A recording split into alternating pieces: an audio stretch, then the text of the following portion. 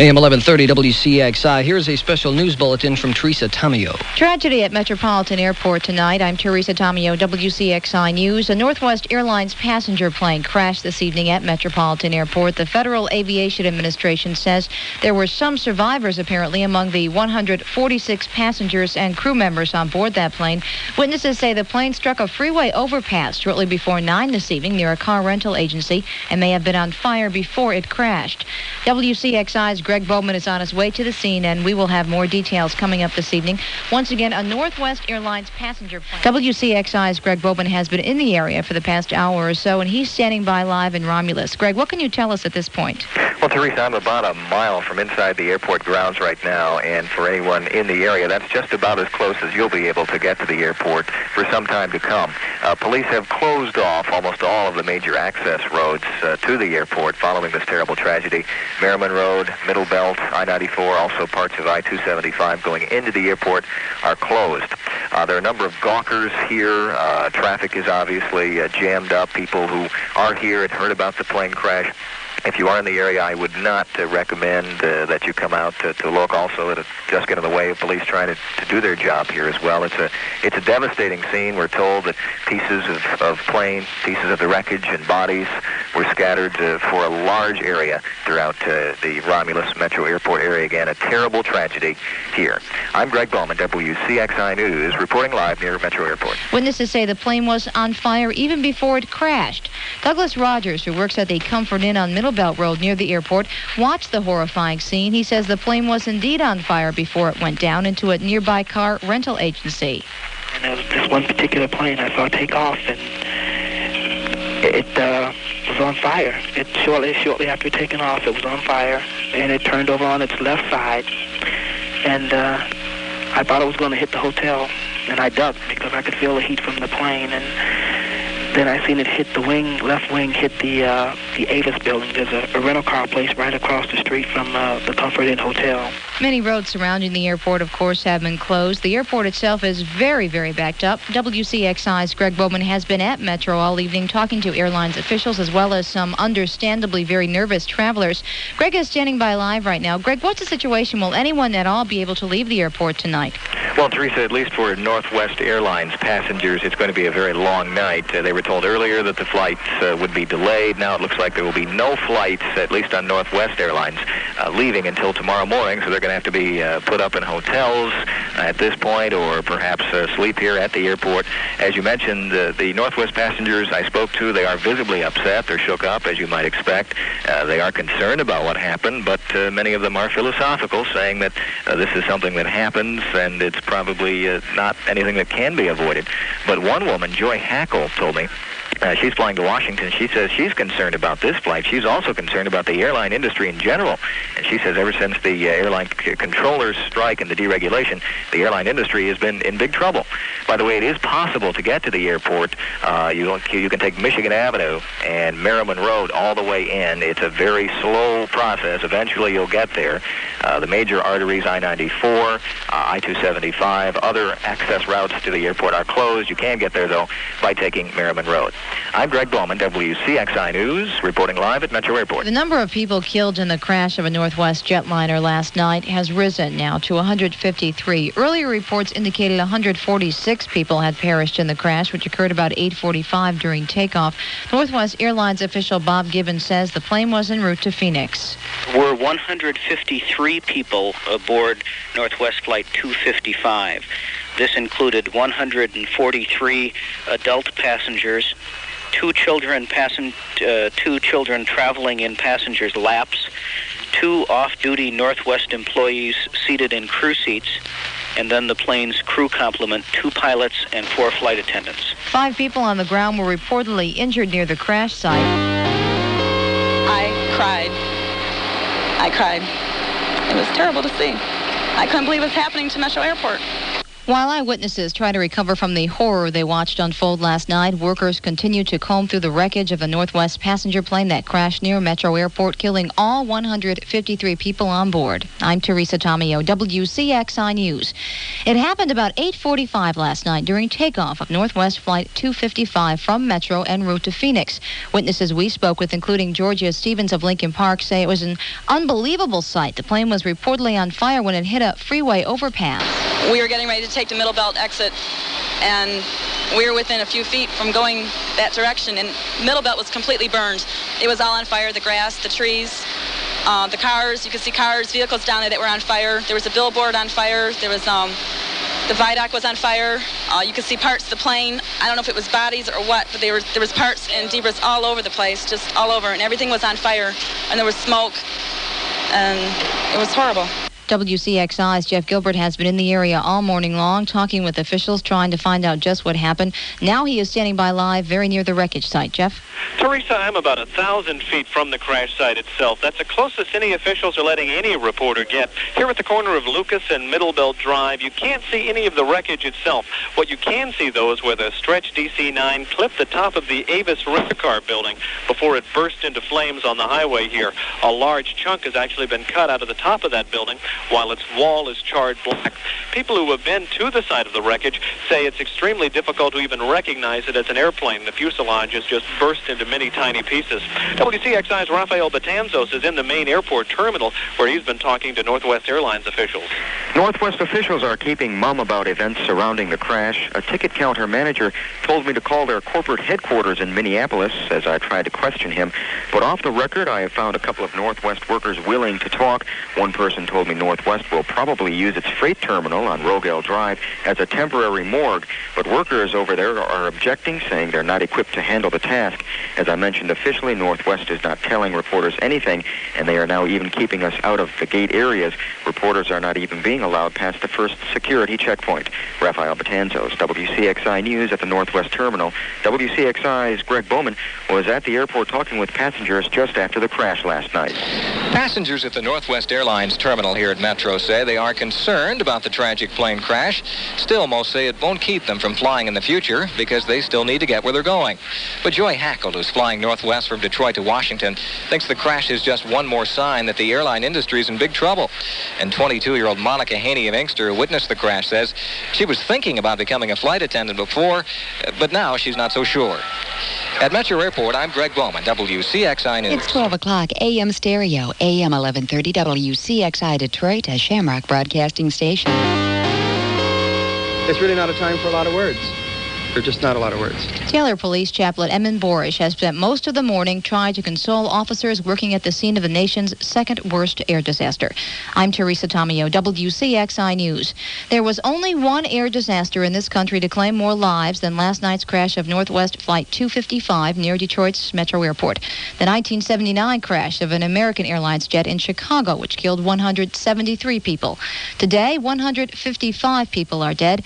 Right now, we know that 153 of them were on board the Northwest plane en route to Phoenix. Two other people were killed, reportedly on the ground. It's a scene of devastation around Metro Airport. The plane went down around 8:45 last night.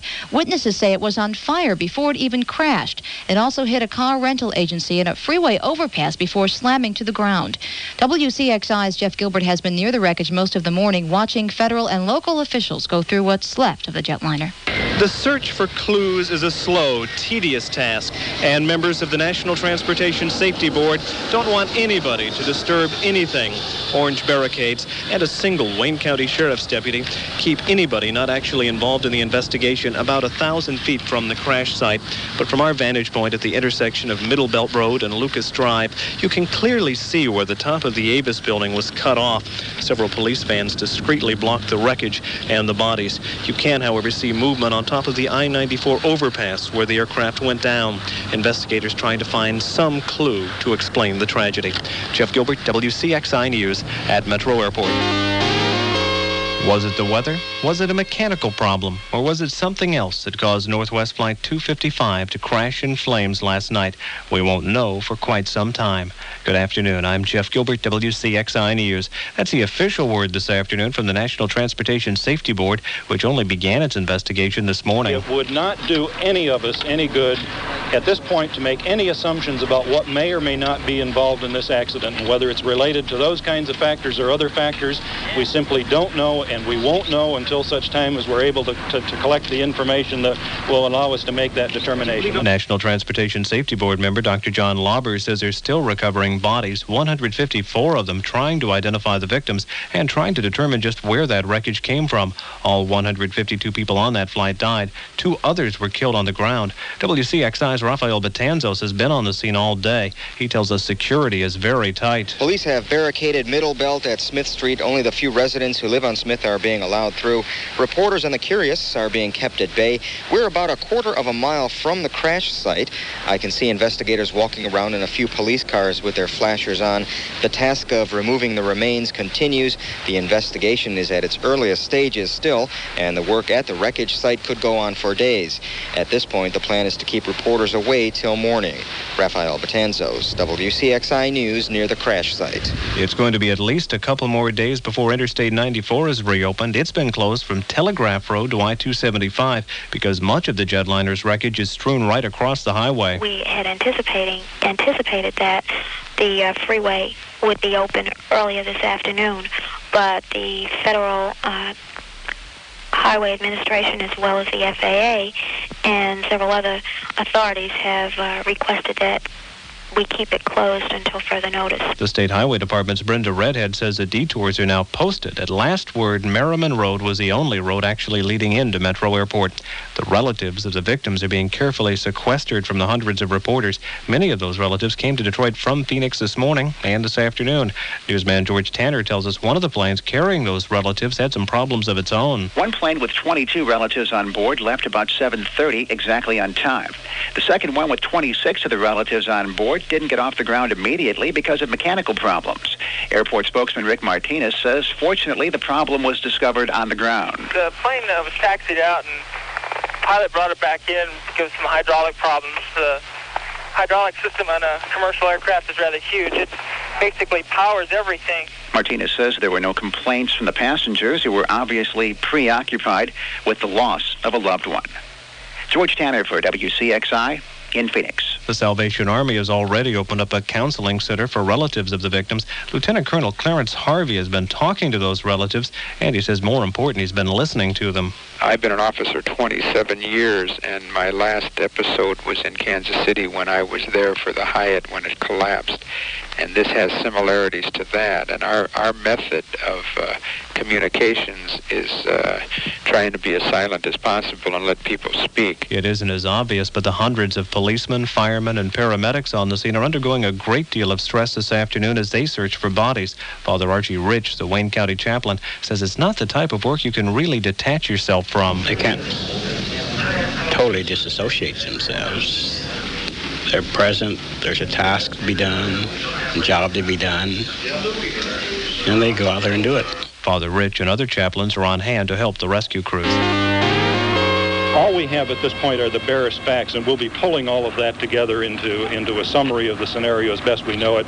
Dr. John Lauber with the National Transportation Safety Board says it will take months and months of investigations before we learn what caused the nation's second worst air disaster. Good morning. I'm Teresa Tomeo, WCXI News.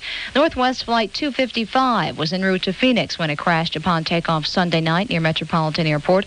The exact death toll is still not known since the airline says 154 people died and a federal investigator puts the number at 152. There were also two deaths on the ground and a county medical examiner says the bodies were too badly burned to tell just how many victims there are. Although federal investigators say it's much too early to come up with any answers, John Lauber does say they have determined the situation with the air traffic controllers was normal, and they think the left engine of the plane was in worse shape than the right. Many eyewitnesses reported seeing flames on the plane's left side before it hit the ground, but Lauber says they have interviewed 25 witnesses, and there are some conflicting reports. Some eyewitnesses have reported seeing uh, an in-flight fire on the aircraft prior to uh, any impact with objects on the ground. And another group of eyewitnesses have reported no such indication or no indication of fire prior to the aircraft impacting with, with the ground. The airlines and federal officials say it will be some time before they can release the passengers' names. The names of crew members were released yesterday by Northwest, as well as the names of three off-duty employees killed in the crash. But a number of passengers' names were compiled from various other sources, and so far the partial list shows at least 10 Michigan residents were killed in that disaster, including one Detroit man, four others from the metropolitan area. It is an unbelievable scene of twisted metal, charred pavement, and yellow flags. The flags represent where the victims fell. Good evening. I'm Jeff Gilbert, WCXI News. That's what Middle Belt Road looked like this morning as reporters were given the first opportunity to view the wreckage of Northwest Flight 255, a flight that claimed at least 157 lives. Rafael Batanzos and I were among those taken up to Interstate 94 to take a look down at the debris.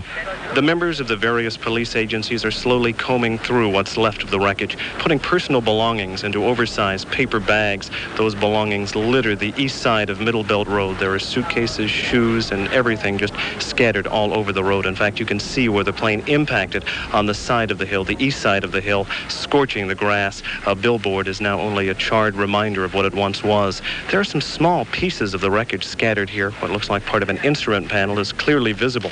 The largest chunk of that wreckage is north of the freeway. That's where we find WCXI's Rafael Betanzos. Investigators are picking through what appears to be the only solid recognizable pieces of the fuselage. It looks to be the front portion of the jet. Two wheels, part of the landing gear, are jutting skyward. It's so bent and twisted, it's easy to understand how so many people lost their lives Sunday night. Trailing behind the solid pieces are some insulation, a couple of pieces of luggage, blackened charred metal, and other debris. Two men seem to be concentrating their efforts at the front of the solid pieces, pointing and probing, hoping to find some clues. Rafael Betanzos, WCXI News at the crash scene. Even though I-94 is now open, police are stationed on the Middle Belt exit ramp to stop onlookers. They say if there's a problem, they'll close the interstate again. The condition of Cecilia Cichan, the four-year-old girl who survived the crash, has now been upgraded from critical to serious. She's still suffering from burns and a broken collarbone and leg. Her grandfather, Anthony Cichan, says Cecilia's life was probably saved by her mother. Her mother, I know, shielded her.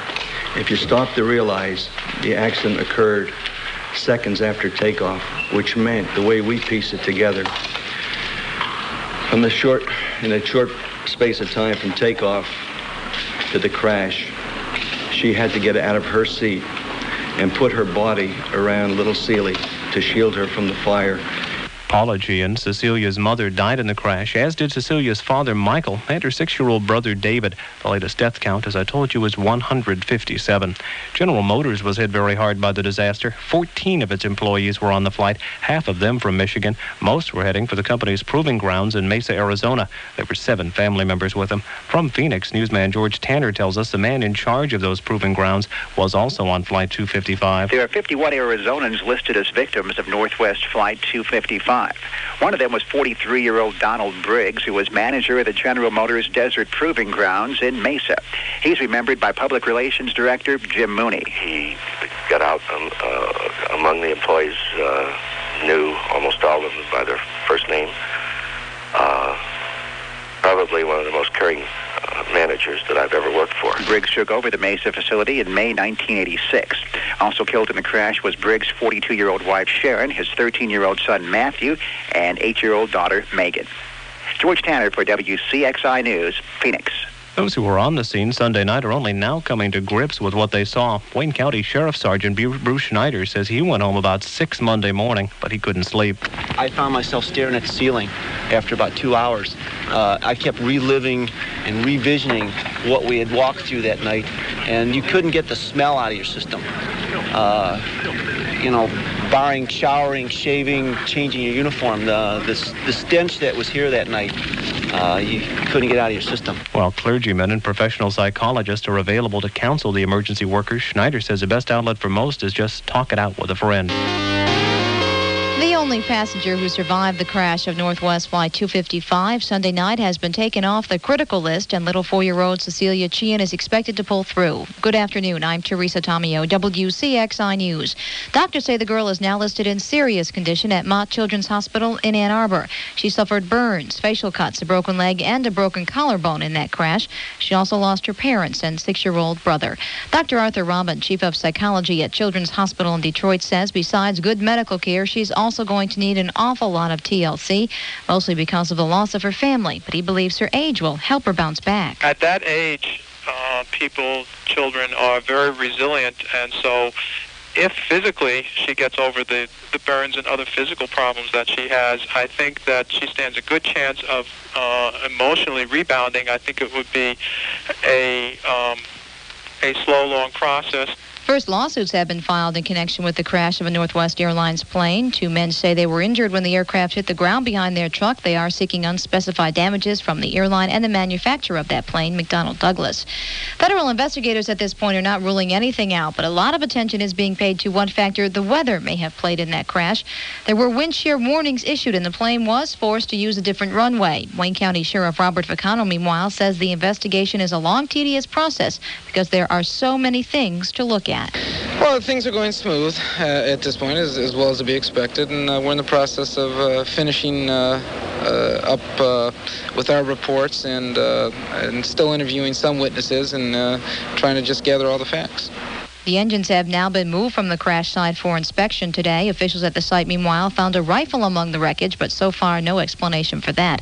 158 people died in the crash of Flight 255 Sunday night. The victims, as well as family and friends of the victims, will be remembered at a special noon prayer vigil in Detroit tomorrow. What we primarily uh, plan to do is just to pray for the families who have lost their loved one and those uh, the friends who have lost their loved ones in that tragedy, and we want to let them know that we're concerned and and we have they have their uh, we have their concern at heart. The Reverend Joseph Jordan is helping to organize that vigil, which will be held at the Pleasant Grove Baptist Church on the Quinder.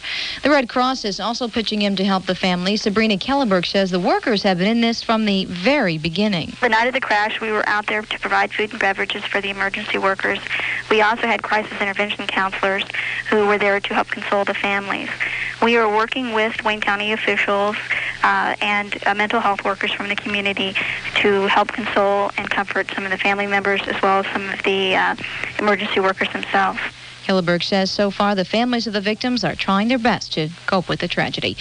Right now, it doesn't look like the crash is causing lots of cancellations for Northwest Airlines, and that doesn't surprise Doug Thomas, president of Fairlane Travel in Dearborn. Not necessarily. Our business tends to be business clientele and longtime clients that do quite a bit of flying. I think where you'll probably get the type of um, of cancellations that you were referring to is first-time travelers or people that don't travel very much and are very, very attuned into any type of a tragedy and kind of put it in the wrong perspective. Thomas does say that many of his regular customers have complained about delays and lost luggage with Northwest, much of the problems, though, stemming from the airline's expansion at Metro Airport. There are very preliminary indications this morning that an almost unbelievable human error may have been involved in the crash of Northwest Flight 255. Good morning. I'm Jeff Gilbert, WCXI News. The flight data recorder indicates the plane's flaps were not in proper position for takeoff. That's something the crew would normally notice in their pre-flight checklist. John Lauber, who is heading the National Transportation Safety Board investigation, said the flaps weren't even mentioned during that checklist. The normal checklist do contain uh, uh, a an item regarding flaps and slats. Our review of the cockpit voice recorder at this point does not indicate uh, that there was anything mentioned about those uh, during the checklist that uh, that we that were run. Lauber also said that an alarm that would have caught the flap problem didn't go off. He was quick to add that more study was needed to find out just where the flaps were and what factor the weather might have been. There's also more talk about the wind shear, the violent changes in wind direction that were noted just before the crash. At 8:22, there was a pilot report received uh, from uh, an, a, uh, an aircraft, uh, uh, a Northwest aircraft that was on approach to runway 21 uh, regarding a wind shear uh, that they encountered during that approach.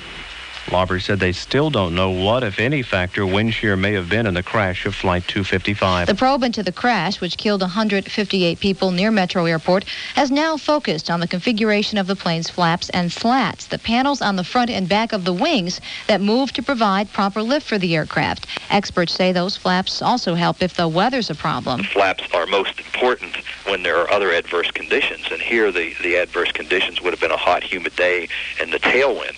Um, had they been on a longer runway, that might have helped. They would have lifted off at the same point, but the obstructions that they hit at the end of the runway would have, of course, been further away. The plane was moved to a different runway, and Dr. William Kaufman, an associate professor of aerospace engineering at the University of Michigan, says such situations with flaps have happened before, and it's something a pilot would not do intentionally.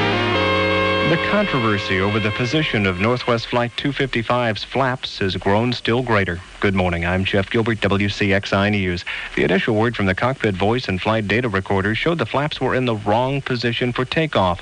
Now, three pilots who saw the plane on the runway say they didn't notice anything unusual. One co-pilot goes so far as to say the flaps were in the proper position. They were in a good vantage point to see the aircraft and see and uh, and uh, follow the rotation and takeoff and subsequent flight of the aircraft. National Transportation Safety Board member John Lauber says it would really help if they could get a hold of some of the photos that may have been taken of the plane before it lifted off. In general, though, that investigation's moving along. We're at the stage of the investigation where things are proceeding very, very smoothly. We've made uh, what I think, and I, I know Mr. Drake agrees, uh, very satisfactory and, and I think rapid progress in this investigation. However, Lauber stresses that all information is preliminary and it will take a long time before they have a firm handle on just what caused Flight 255 to go down.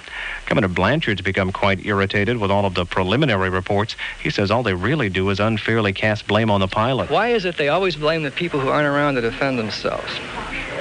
Especially when we know there have been serious safety and regulatory and maintenance problems, not just with Northwest, but all the airlines, and not just with the airlines, but with the federal regulatory agencies. Blanchard puts at least the indirect blame on deregulation, which he supported as a congressman, but now says he feels that airlines won't do enough to push for safety unless they're forced into it.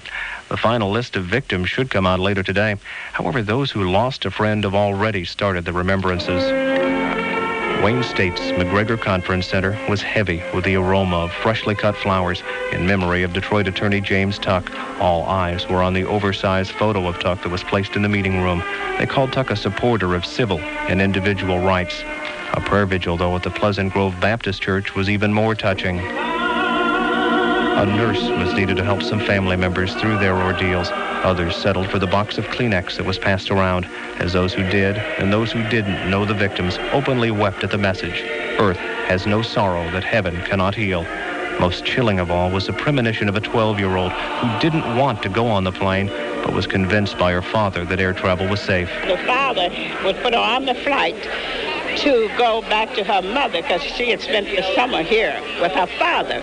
She begged her father not to put her on the plane because she said something is going to happen to this plane. Lenora Nelson's great-granddaughter Arlene died on Flight 255. Her father heard the news on his way home from the airport and hasn't been able to cope with the grief since. O God of grace and glory, we remember before you this day our brothers and sisters from Flight 255.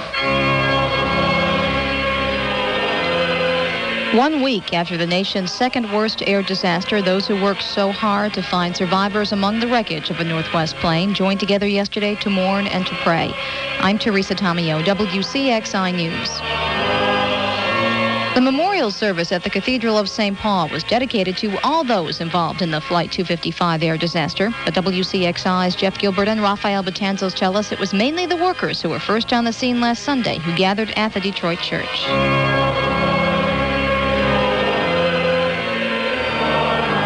As memorial services go, this was a Spartan affair, the ornate cathedral, making the tiny crowd seem all the smaller. The 80 or so people gathered were mostly Wayne County employees who came to make some sense of what happened and to pray for the victims. Let us at this moment observe a moment of silence in which each one of us may express our own prayer for those whom we mourn. The prayers were both private and public.